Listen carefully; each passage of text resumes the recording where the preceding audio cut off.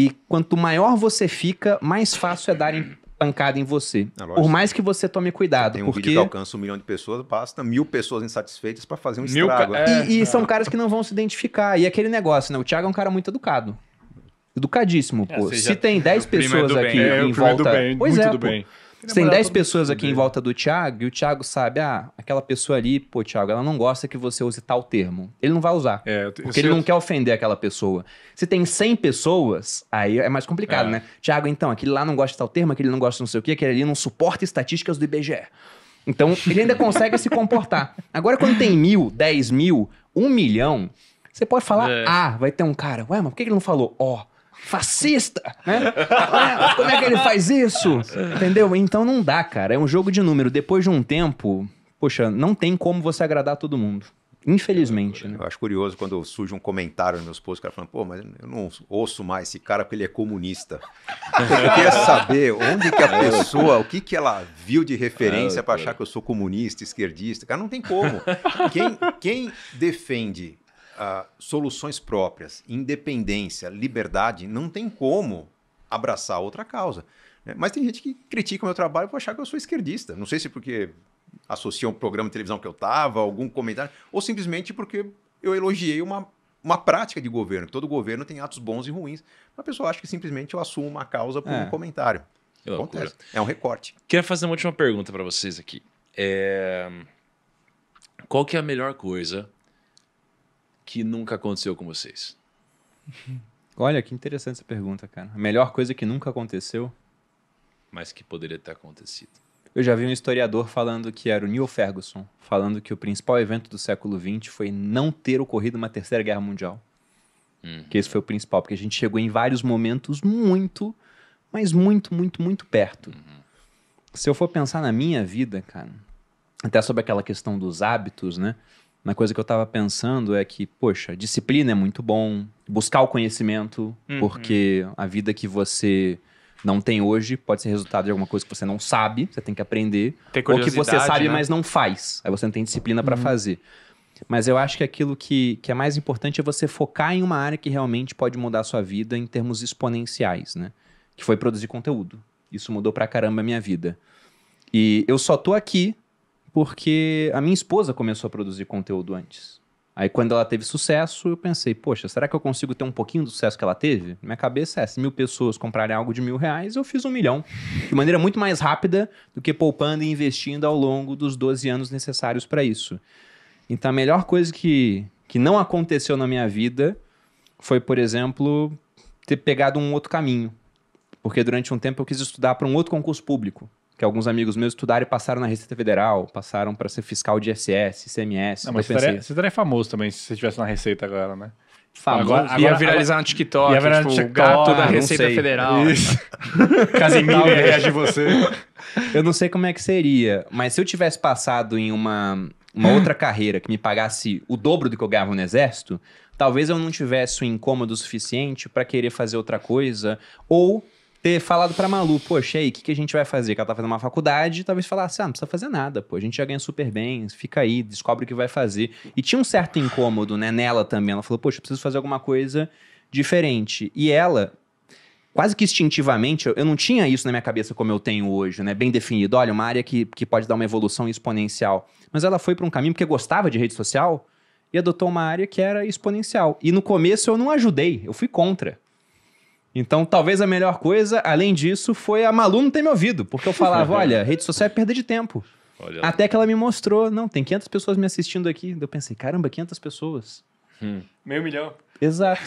Se eu vender mil reais né, para essas 500 pessoas, algo de mil reais dá meio milhão. Então, eu acho que, que esse foi o ponto. E se eu pudesse dar, né, finalizando a minha parte aqui, uma última dica para o pessoal que está assistindo, é tentar encontrar essa área que pode mudar na sua vida. Eu gosto sempre daquela história do Pareto, né, o teorema de Pareto do 80-20. O Pareto era um polimata italiano, engenheiro, estatístico, tinha várias habilidades, cientista político, tem muita coisa que ele fez em termos de publicação. E uma vez analisando a distribuição de terras na Itália, ele viu que 80% das terras eram de 20% das famílias. E o pessoal para aí quando fala do Pareto, né, no 80-20. Ah, então você vai ter 80% de resultado da sua carteira vindo de 20% dos ativos, por exemplo. Só que olhando esses 80% das terras, ele viu, e os 20% das famílias, ele viu que 20% dos 20, ou seja, 4% das famílias, eram donas de 80% dos 80, 64% das terras. E novamente ele foi ver que havia um punhado de famílias pequeno, 20 desses 4, 0,8, que eram donos de praticamente 51% da Itália. E a mesma coisa vale para mim hoje. Então, eu sempre fico pensando, né, o que, que é mais importante que eu faça? E nada é mais importante para a empresa, por exemplo, do que eu estar em frente a uma câmera. Isso que é a minha contribuição exponencial para a empresa. O Thiago é a mesma coisa, pô. A gente teve aquela discussão no ano passado, né, de, poxa, o Thiago tem que ser o CEO, não tem que ser. E hoje a gente tem um co-CEO do lado do Thiago para que ele possa ser mais influenciador. Porque nada é mais rentável para a empresa do que o Thiago em frente a uma câmera. Então, as pessoas têm que pensar nisso também. O que, que é o mais importante que você pode fazer para tentar acelerar a sua mudança de vida, para ficar rico? Muito bom, Pedro. Seria isso. Seus raciocínios são sempre excelentes, cara. Muito bom. Muito bom, Pedro. Isso é muito foda. Você é sempre perspicaz nas observações, Thiago. Parabéns. É um bom observador, né? E você, Cerbado? Eu sei. Cara, sabe, talvez uma das perguntas mais difíceis que me foram colocadas. Minha vida teve muitos reveses, muitas situações em que eu me aventurei. Eu comecei a dar aula sendo tímido, então me expondo para os leões. Minhas primeiras aulas eu era um cara de 27 anos dando aula para alunos de 35. Né? Então eu sofria bullying dos meus alunos.